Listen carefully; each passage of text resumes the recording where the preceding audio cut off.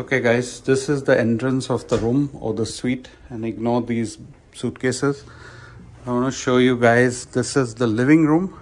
We've taken a suite. This is the living room with the TV, big TV, big bathroom. Let's show you the bathroom. Quite nice and big. And then, of course, let's just look at this first. Check it out.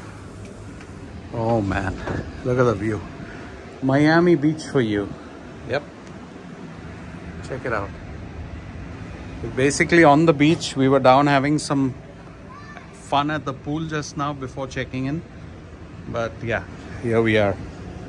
And let's quickly see the bedroom because the kids don't want me to videotape much. Let's look around. Hi guys.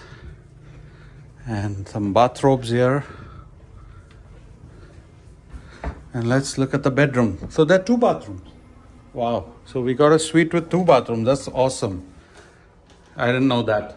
That's great yeah two bathrooms and this is the bedroom not too big but a king bed with a big tv and yeah outside two people can sleep. So another view of the beach. Hope you guys like it. I think it's beautiful. So this is a hotel for two nights and then we go to Key West. You guys like the view? Yes. Did you, did you step out? You step out. I want to get a shot with you. Come.